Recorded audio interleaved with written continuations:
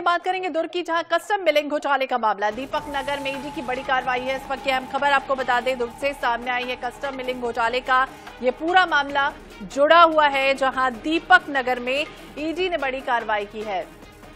तो rice Miller association के अध्यक्ष कैलाश रोंगटा के घर छापेमार कार्रवाई की गई है। ये खबर है दुर्ग से रायपुर में। एसोसिएशन कार्यालय में भी रेड मारी गई है। तो कस्टम मिलिंग घोटाले से जुड़ा हुआ ये मामला है। दीपक नगर में ईडी की कार्रवाई की गई है। राइस मिलर एसोसिएशन के अध्यक्ष हैं कैलाश रोंगटा, जिनके घर पर छापेमार कार्रवाई की गई है। रायपुर में भी एसोसिएशन कार्यालय में रेड पड़ी है।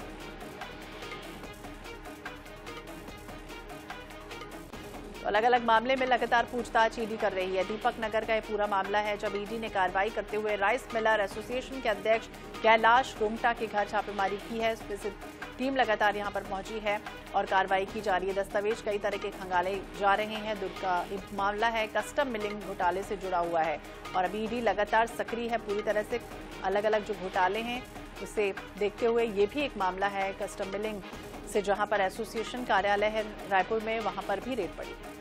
तो कस्टम मिलिंग घोटाले का मामला, जहाँ दीपक नगर में ईडी ने बड़ी कार्रवाई की है और राइस मिलर एसोसिएशन के अध्यक्ष है कैलाश रुंगटा, जिनके घर टीम पहुँची है और लगातार दस्तावेज़ खंगाले जा रहे हैं। इनपुट कहाँ कहाँ से मिले हैं, उसके आधार पर और कहाँ कहाँ से लिंक है इसके आधार पर पूरी तरह से पतासाजी करने की कोशिश की जा रही है। और रायपुर में भी एसोसिएशन कार्यालय है, जहाँ पर इस तरह की रेड पड़ी है और टीम यहाँ पहुँची। है यहाँ पर भी और इनके तार कहाँ कहाँ से जुड़े हैं कौन कौन इसमें इन्वॉल्व है, किस तरह से आगे ये काम करते रहे हैं, इस पूरी जानकारी को, इस पूरी प्रक्रिया को समझने की कोशिश कर रही है टीम तो अहम खबर, जहाँ राइस मिलर एसोसिएशन के अध्यक्ष कैलाश रुंगटा की छापेमारी की जा रही है। आनंद नारायण ओझा, ज़्यादा जानकारी के लिए हमारे सहयोगी हमारे साथ जुड़ गए। आनंद, क्या जानकारी? कितने बजे टीम पहुँची है? अभी क्या कुछ हो रहा है? वहाँ पर क्या अपडेट है? टीम लगभग दो से ढाई घंटा पहले पहुँची है। उससे पहले टीम दुर्ग के जो पुलगांव रोड है वहाँ भी गई थी, लेकिन जो उनको दस्तावेज़ चाहिए था जो जानकारी चाहिए थी, वो वहाँ पर उपलब्ध नहीं हो पाया। तो फिर उनके दीपक नगर निवास पहुँची हुई है और ऐसा बताया जा रहा है कि एसोसिएशन के कार्यालय इनके रायपुर में है। वहाँ भी टीम जाँच कर रही है।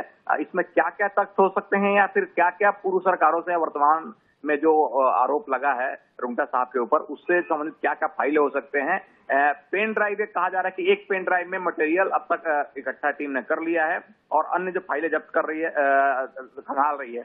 शाम तक जितनी फाइलें जब्त हो जाएगी या दस्तावेज़ जब्त हो जाएँगे उसका रायपुर में जाकर पूरे मामले का टीम द्वारा खुलासा किया जाएगा या विज्ञप्ति जारी की जाएगी। तो ये जो रायपुर आनंद रायपुर में जो एसोसिएशन कार्यालय है वो क्या इन्हीं से जुड़ा हुआ है या कोई ये अलग कार्यालय है?